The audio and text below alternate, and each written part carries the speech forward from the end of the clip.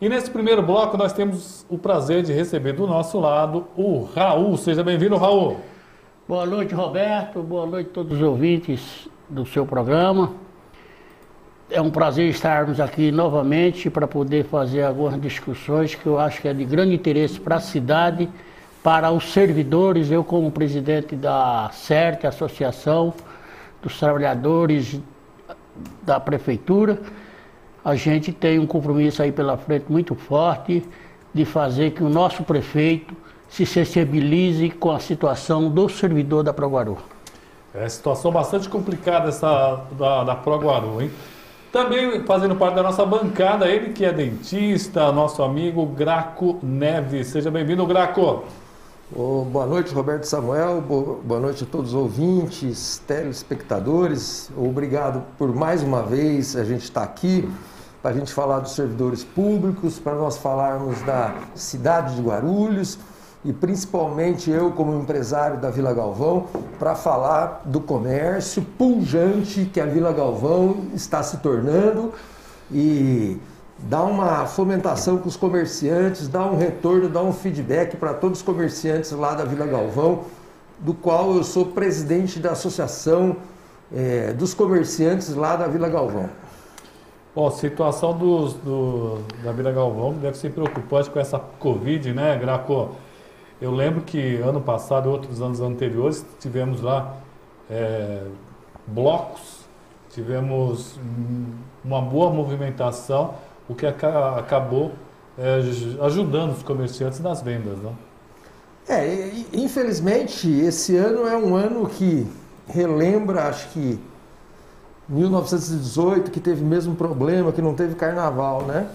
E que realmente nós precisamos cuidar da saúde para resolver o problema da economia. Eu me lembro muito, uh, muito no ano passado, quando estive aqui, Roberto Samuel, com você, e estava junto comigo na bancada o, o ex-vereador eh, Eduardo Carneiro, e eu fiz a defesa que a saúde e a economia tinha que ser, ser feito juntas e continuo com a mesma opinião.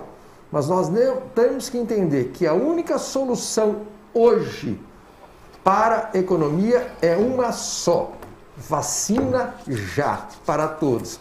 E infelizmente, nós temos que ficar fazendo o uso do álcool gel, o uso da máscara, o distanciamento. Alguns comerciantes estão extrapolando em seus comércios em relação em aglomeração isso não é legal.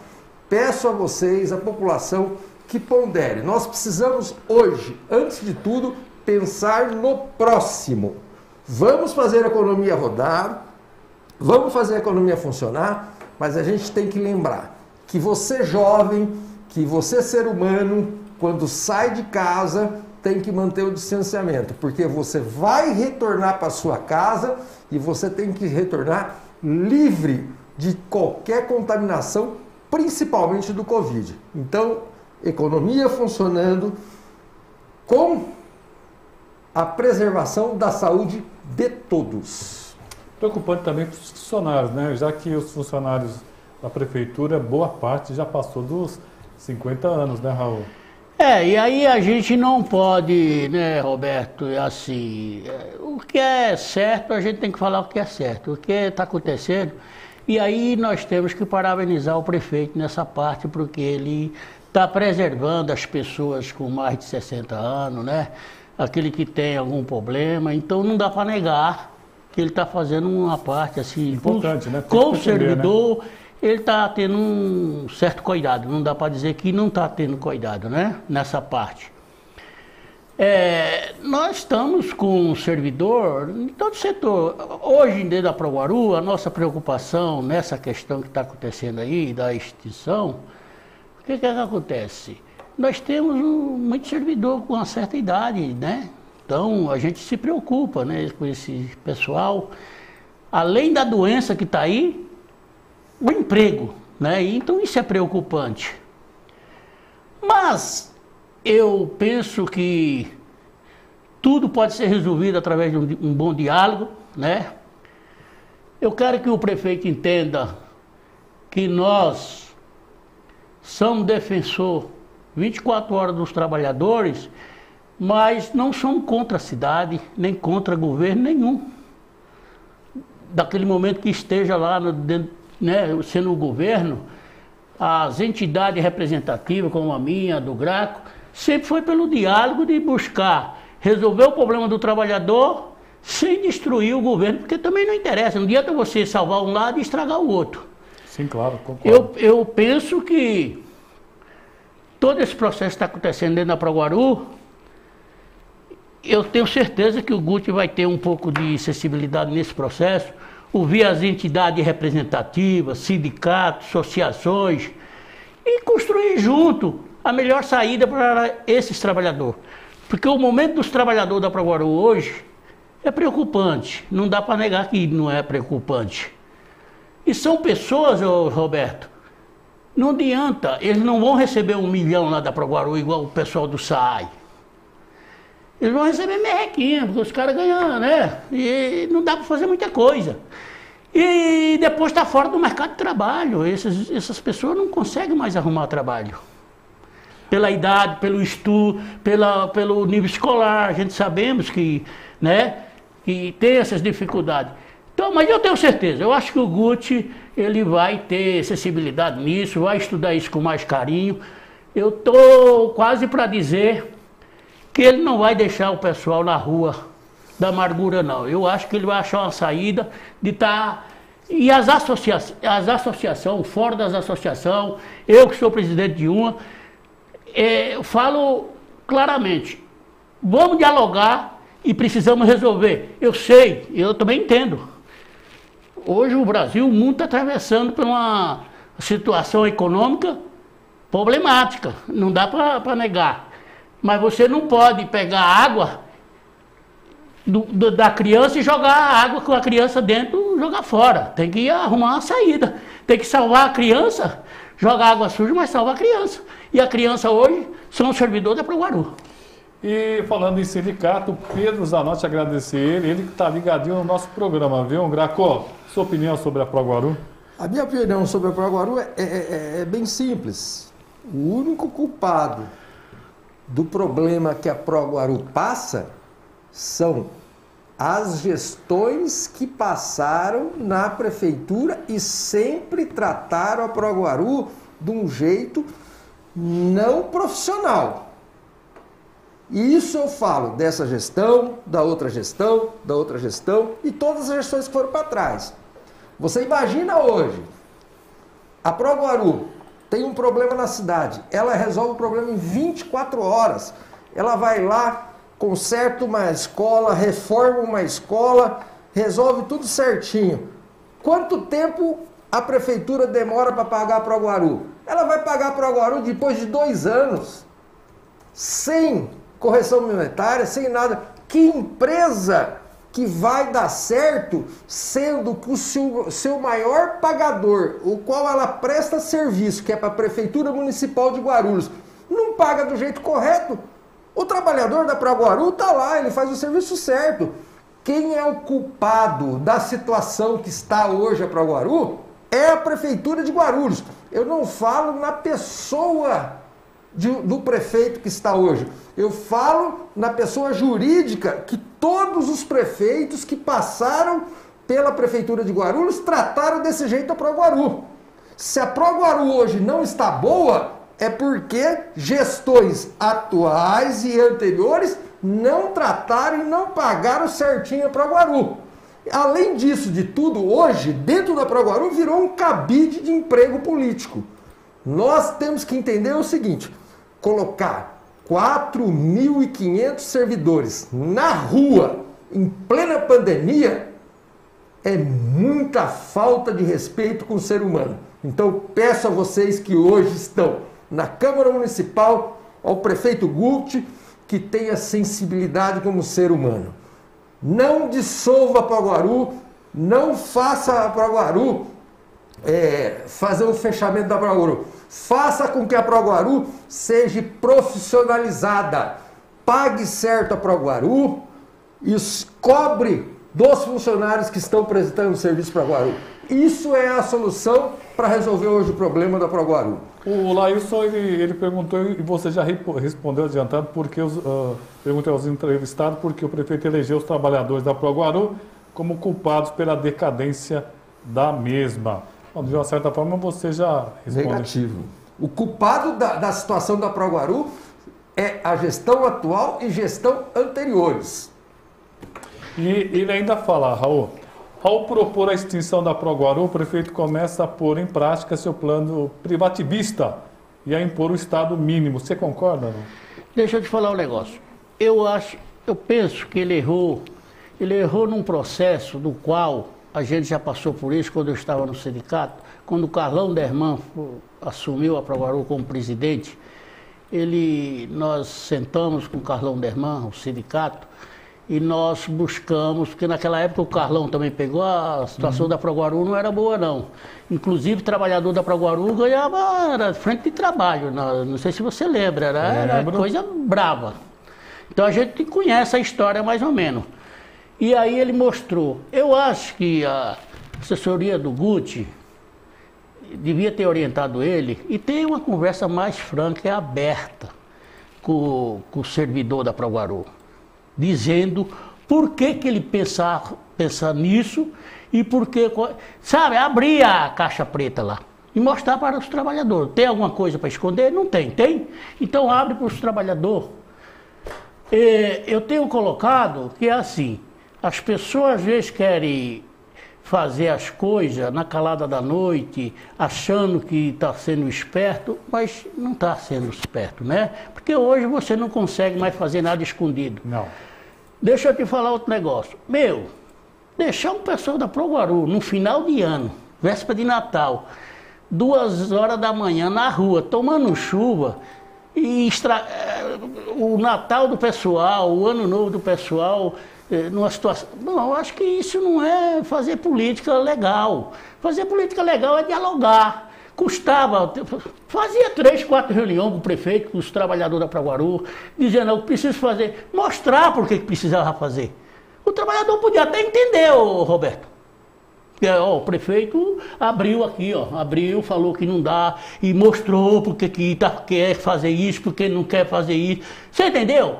Eu acho que tem que ser mais franco. Não dá para você fazer as coisas na calada da noite, ô Roberto. Não dá para fazer mais política assim. Hoje as pessoas têm acesso a tudo aí, ó. Celular.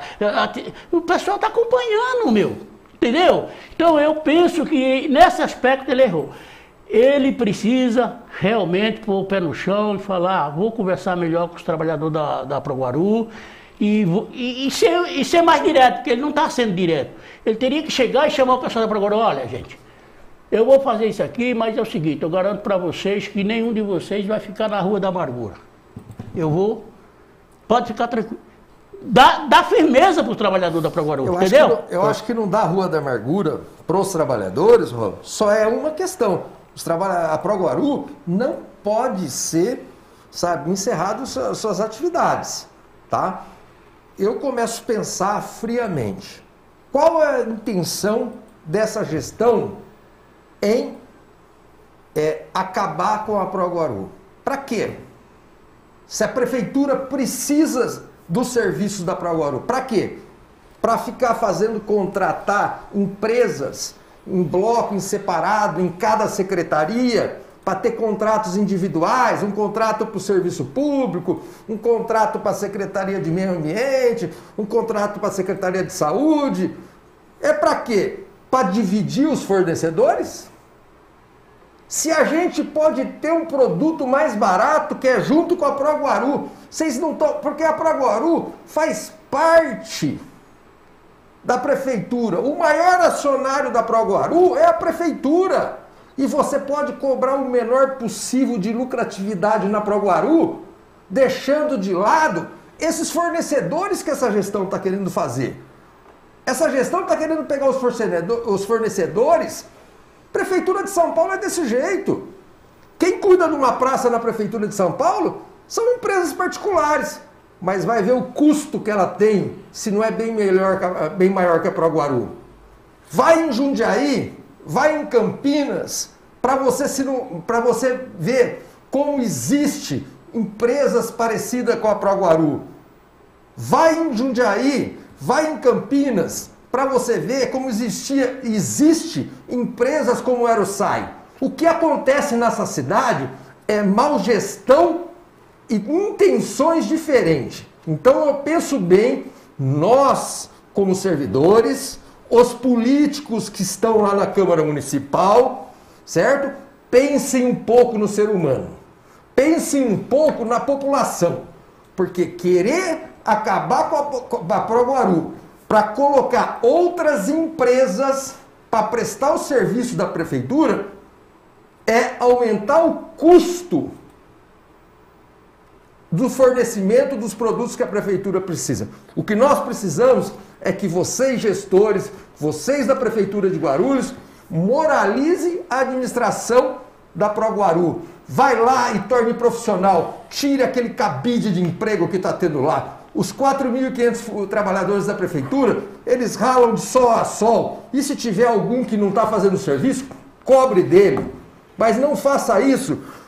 Coloque 4.500 servidores na rua. E sem contar, né, Graco? Assim, a Proguaru é uma conhecedora da cidade.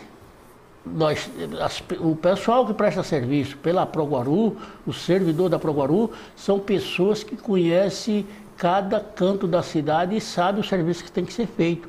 É diferente você pôr uma empresa aí que ele vai até que aprender, fazer todo o trabalho que tem que ser feito.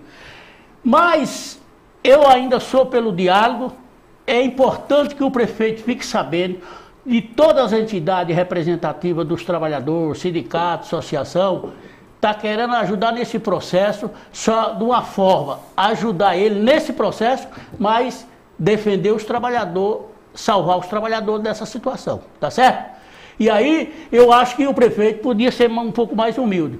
Chama todas as entidades representativas aí, sindicato, vamos sentar aqui, vamos, vamos discutir isso aqui. Tá certo? Aí, aí fica legal. Aí, porque eu tenho certeza que os sindicatos, as associações, o interesse delas é o quê? É salvar o trabalhador. Tá certo? Não, e defender o serviço público para a população. Tá certo? É isso que nós queremos. Não dá para fazer as coisas, Roberto. No calado da noite, no dia tá a bomba lá e aí. Sem discussão. Sem discussão. Rodrigo aí, Tavares está mandando um abraço para nós. Rodrigo Tavares, que foi candidato a prefeito pelo PRTB. Abraço aos amigos Graco, Raul Seixas e ao Roberto. Grande abraço, Rodrigo. Você é uma pessoa que eu admiro muito, que é um tem muito futuro para defender a nossa cidade aqui de Guarulhos. É um prazer, Rodrigo Tavares, ser seu amigo. É um prazer a gente ter convivência. O, o Lailson está perguntando qual a expectativa de vocês com relação ao dissídio que se aproxima. O, se eu não me engano, já está acertado o reajuste desse ano, não está? Não, é, o reajuste desse ano. Zero. O sindicato deve ter mais informação, né? Pedro, na verdade. Pedro, manda para nós informação aí se você tiver. Na verdade, o sindicato acompanha mais de perto essa questão, né, Graco? Né, na verdade, mas a qual, gente também acompanha. Mas qual a expectativa? a gente também acompanha. A expectativa, a expectativa Nenhuma. Nós, não. Eu não tenho. Não, eu, não. É, com, com essa pandemia é complicado, né? Pode até não ter mas tem forma de estar tá melhorando a vida dos trabalhadores, sem envolver, porque hoje eh, coloca que se existe uma lei federal que não pode, enquanto ter essa pandemia, não pode ter aumento e papapá. Foi isso? Que foi lá do governo federal. É. Os governos aproveitou o gancho aí e encaixou. Era só para o governo federal, mas eles aproveitaram e colocaram eles também junto. Aí o que, que acontece? Mas tem outras movimentações que dá para nós fazer e melhorar a vida do trabalhador. A prefeitura hoje de Guarulhos, eu sei que tem, uma, tem condições de arrumar um jeitinho de ajudar o trabalhador. Se não for de uma forma de, de questão de aumento salarial, mas tem outra situação que dá para fazer, certo? Perfeito. É só ser questão de sentar. Porque não dá, né, Roberto? Um ano atrás nós estávamos pagando um quilo de carne 10 conto. Hoje está 50, pô. E mais um ano sem aumento, não tem condições. Um pacote de arroz era 10, agora é 30. É verdade. Então, como é que nós vamos fazer? Será que dá para a prefeitura falar, ô, oh, a partir de agora eu não posso dar aumento, mas vamos dar uma cesta básica para os trabalhadores? Maior, né? Hã? Vamos dar uma cesta básica aí, igual para o Guarulhos dá, dois pacotes de arroz é três. De, o, o, trabalhador, ele não quer cesta básica com chocolate de primeira linha. O trabalhador quer uma cesta básica com Arroz, arroz, óleo, açúcar, feijão. E a prefeitura tem condições de fazer isso. Eu acho que é uma boa ideia, hein? Tá essa, certo? Essa aí seria então a uma boa prefeitura pode falar, não dá para dar aumento, mas dá para dar uma cesta básica boa para os trabalhadores, que já ajuda no, no mês. Terminando o nosso horário aqui, olha só, é, agradecer a Ana Gomes, está mandando um abraço para nós, muito obrigado, Ana. O Laílson, Sueli Lopes, tá aqui com a gente, Orlando Caparrós. É, será que essa auditoria irá contar com, contar com os comissionados sem concurso algum? Será também que irá entrar os serviços executados e não pagos pela prefeitura? Rapidamente, para você, Gracó. Rapidamente. Rapidamente, Roberto Samuel, eu, gostaria de rapidamente aqui é, agradecer a você, mas deixar um, um- um recado para a gestão atual, que na minha qualidade, eu como presidente da Associação dos Comerciantes da Vila Galvão, que tenha um foco e que quando negociar com a Associação dos Comerciantes da Vila Galvão, faça um- uma negociação republicana, diretamente com o seu presidente, não contorne começando a pegar outros funcionários, tá bom? É isso o recadinho que eu estou passando para vocês que estão aí na gestão, tá? Quando fazer uma negociação, negocie diretamente com o presidente, não procure as pessoas por trás e respeite uma associação como é da Vila Galvão. Um abraço. Você viu o relógio do, do Raul? É um Rolex todo de ouro. ó. Então, E você viu que Roberto, ele não contestou, né? Roberto, é o seguinte, muito obrigado. Nós queremos passar uma mensagem para os trabalhadores da Proguaru, de toda a prefeitura, eu como presidente de uma associação, que a gente vai buscar o diálogo sempre para poder resolver, que eu sei que o radicalismo não leva a lugar nenhum. Concordo. Se nós não conseguirmos vencer no diálogo, que no radicalismo é que não vai vencer, tá certo? Mas eu espero na acessibilidade do prefeito, as, as, as, entidades, as entidades, as associações, sindicato, tá de portas abertas para dialogar e, e propor ideias para ajudar, porque nós queremos o bem do servidor e queremos o bem da cidade. Então, é isso que nós queremos e a nossa associação vai estar 24 horas atento e lutando pelos trabalhadores. E aqui sempre está aberto para a associação, para os sindicatos. O Pedro Zanotti sabe disso, o pessoal do sindicato. E todas as associações podem vir aqui que serão bem-vindas. Obrigado, Raul. Valeu, meu irmão. Quem quiser entrar em contato com a associação, liga para você. Como é que- Liga para mim, liga para a seu associação. telefone, pô. É, o meu telefone, quem quiser entrar em contato, pode, pode entrar em contato para me criticar e para me elogiar. Para mim não tem problema não, eu estou acostumado, Ah, não tem problema não. E quando a pessoa me critica, eu até às vezes eu Agradeço agradeço porque eu aprendo, tá certo? Meu telefone é 976978641 ou da associação 287-2520. Nós Obrigado. estamos aí. Eu queria deixar, aproveitar deixar o telefone da Associação dos Comerciantes da Vila Galvão para entrar em contato. Você que é comerciante da Vila Galvão, se associar, o telefone, o zap, o telefone é 11 975 59 0703.